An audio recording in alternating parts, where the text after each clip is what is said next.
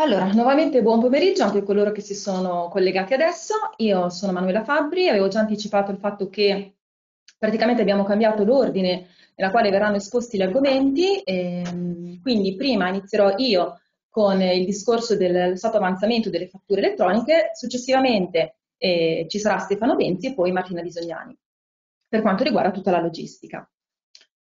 Allora, le fatture elettroniche, eh, a differenza di quelle cartacee, eh, per le quali una volta inviate bastava magari chiamare il cliente e accertarsi che la fattura fosse effettivamente arrivata a destinazione, per le fatture elettroniche eh, diciamo, queste seguono tutto un iter deciso dall'agenzia, uno, un iter che è costituito da una serie di stati evolutivi che portano poi la fattura ad essere considerata emessa ed effettivamente consegnata al destinatario.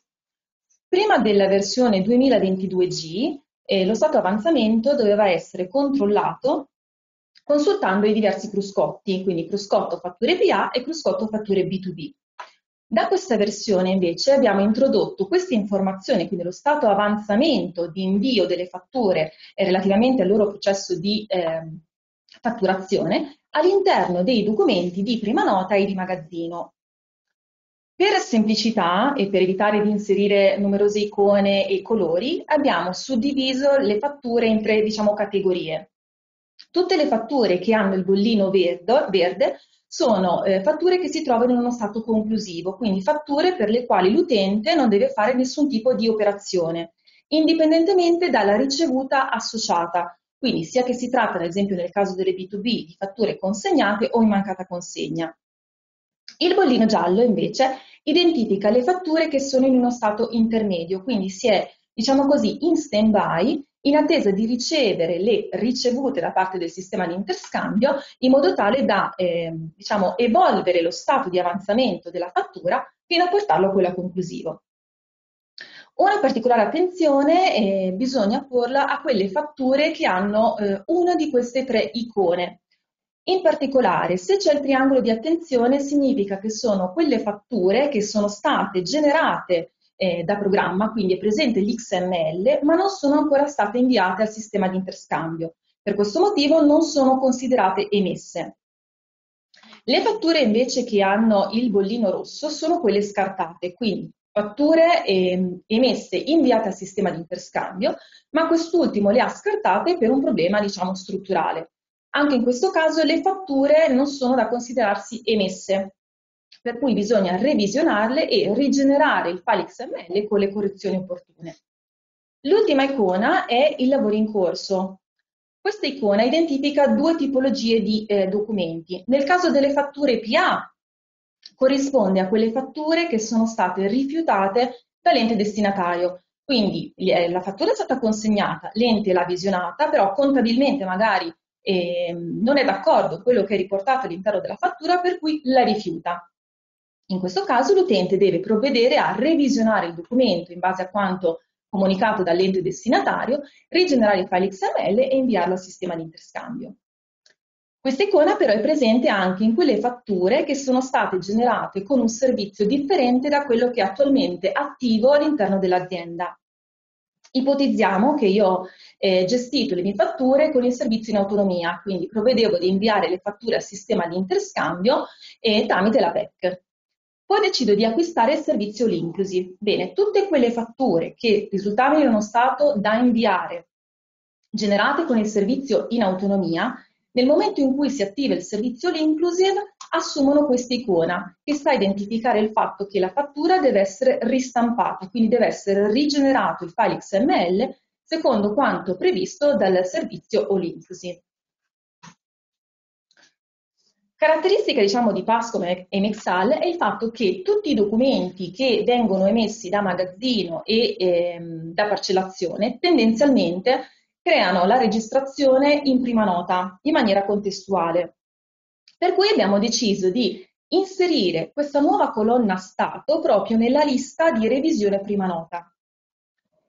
La colonna eh, verrà valorizzata per quei documenti elettronici, quindi solo quelli elettronici, che sono le fatture e le note di credito emesse sia in regime ordinario diciamo, che in IVA per casso e IVA esigibilità differita, per le fatture e le note di credito ricevute e le fatture ricevute con doppio protocollo nel caso in cui è associata un'integrativa.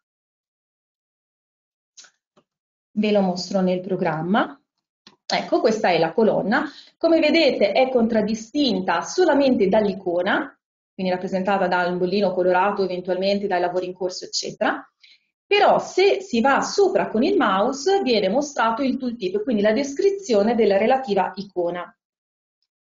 Dal momento che ci possono essere fatture che hanno sì la stessa icona, quindi il bollino verde, ma hanno associato una ricevuta differente, ad esempio in questo caso abbiamo un consegnato, c'è un mancata consegna, oppure potrebbe essere un dei corsi termini nel caso della pubblica amministrazione, quindi magari può avere senso, uno, può avere l'interesse magari di individuare quelle fatture, non so, che eh, si trovano in mancata consegna, perché, eh, fatto eccezione dei privati, magari voglio contattare l'azienda e dire che la fattura è presente direttamente sul cassetto fiscale, per cui diventano fondamentali le ricerche e i filtri. Come posso, diciamo, selezionare i documenti in base allo stato? O utilizzo la ricerca full text, quindi ad esempio inserisco una parte della eh, descrizione dello stato, quindi ad esempio mancata consegna, e il programma in automatico va a filtrare le fatture in base a quello stato. Vedete, è mancata consegna sia il bollino verde che il bollino giallo.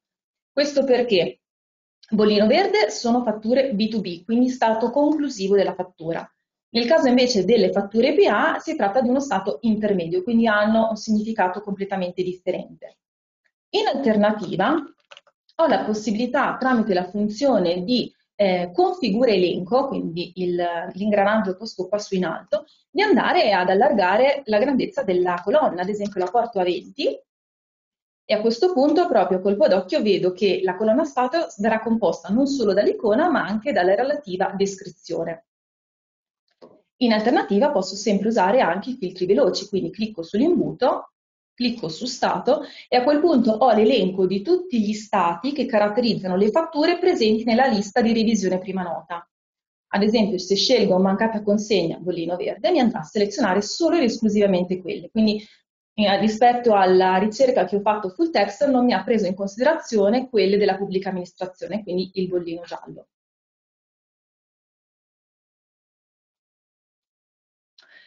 Lo stato tendenzialmente viene aggiornato in tempo reale. Quindi, ad esempio, non so, in questo caso ho una fattura che risulta da trasmettere. Apro una seconda sessione, ad esempio vado dal cruscotto, cruscotto delle fatture B2B,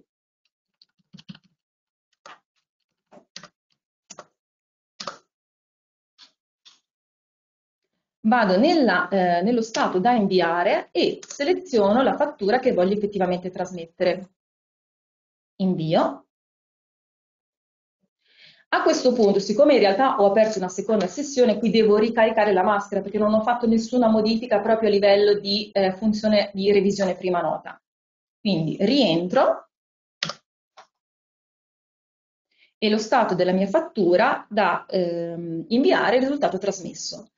Stesso discorso nel caso in cui io, non so, vado all'interno di una registrazione che è stato trasmesso vado a verificare se sono presenti delle ricevute, lo posso fare dal cruscotto, dalla funzione di gestione ricevute, oppure appunto, come sto facendo ora, direttamente da dentro il documento.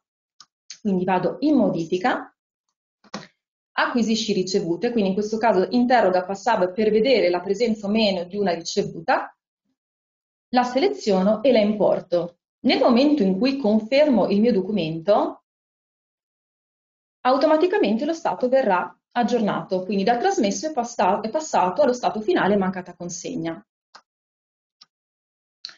La stessa informazione ce l'ho anche all'interno delle schede contabili. Quindi ad esempio ricerchiamo il conto merci conto vendite.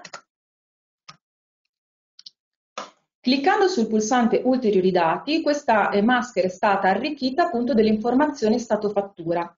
Scorrendo all'interno della videata chiaramente vengono variate le informazioni, quindi ho mh, visualizzato lo stato della fattura su cui io sono posizionata.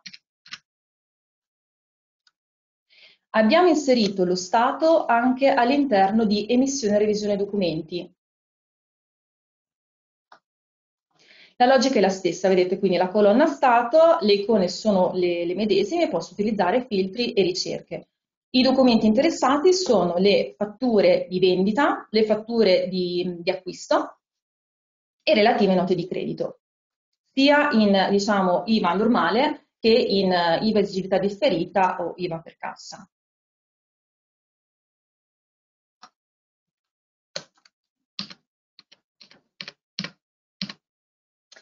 Ci sono alcune particolarità che vi ho riportato all'interno di questa slide. Allora, per quanto riguarda le fatture ricevute, indipendentemente che hanno o meno associate eh, le ricevute dei metadati, verranno tutte contrassegnate dal bollino verde con lo stato ricevuto. Mentre per quanto riguarda i documenti di tipo self-billing, oppure quelle tipologie particolari come TD20, TD21, 22 o 23, che sono quelle fatture che eh, diciamo, uno emette per conto del proprio fornitore. Ecco, in questo caso che cosa succede? Allora, nel momento in cui viene emessa la fattura, fattura fornitore da magazzino, chiaramente questa seguirà lo Stato come se fosse una fattura di vendita, quindi avrà da inviare, trasmesso, consegnato o mancata consegna. Nel momento in cui questa fattura tornerà indietro, perché appunto io ho simulato che l'avesse generato il mio fornitore, quindi torna indietro a me come azienda e quindi la devo importare lato ciclo passivo, a quel punto, nel momento in cui vado a effettuare l'import, il programma che cosa fa? Andrà a creare un nuovo documento di DocuVision, quindi avrò quello legato al ciclo, diciamo così, attivo, quindi quando l'ho emessa, e quella che invece sono andata a importare perché ho ricevuto, tra virgolette, dal mio fornitore. Questi due documenti però verranno allegati allo stesso documento di magazzino e alla stessa registrazione contabile, chiaramente registrazione che magari ho inserito contestualmente alla creazione della mia fattura fornitore da magazzino. In questo caso, nel momento in cui vado a effettuare l'import, lo stato della fattura da consegnato che era, quindi quando avevo gestito la parte, tra virgolette, del ciclo attivo, assume lo stato ricevuto, quindi ciclo passivo. Nelle slide vi ho riportato molto brevemente in formato tabellare quali sono gli stati della fattura PA, della fattura B2B e vi ho riportato anche quelle legate alle aziende di San Marino. Allora, per quanto riguarda le aziende di San Marino, la, gli stati sono gli stessi delle fatture B2B, fatta eccezione di eh, due stati, diciamo, o meglio, uno stato nuovo, che è in prossimità sia del, dello stato consegnato che mancata consegna, ed è il bollino verde con il punto esclamativo. Questo identifica solo quei documenti che sono sì in uno stato conclusivo, ma a cui non è ancora stato associato il codice della distinta.